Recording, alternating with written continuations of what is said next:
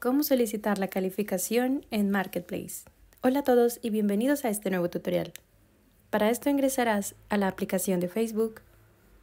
Una vez aquí, iniciarás sesión y luego irás donde dice Marketplace en la parte inferior. Ahora irás a tu perfil en la parte superior derecha y aquí irás donde dice tus publicaciones. Aquí aparecerán todas las publicaciones y productos que has vendido. Para enviar una solicitud de calificación, simplemente ingresarás al producto que aparecerá en esta sección. Yo no tengo un producto o publicaciones creadas, pero si tú las tienes, en esta sección aparecerán. Luego ingresarás a la publicación y allí podrás chatear con la persona que hizo la compra. Cuando entres al chat te aparecerá enviar solicitud de calificación.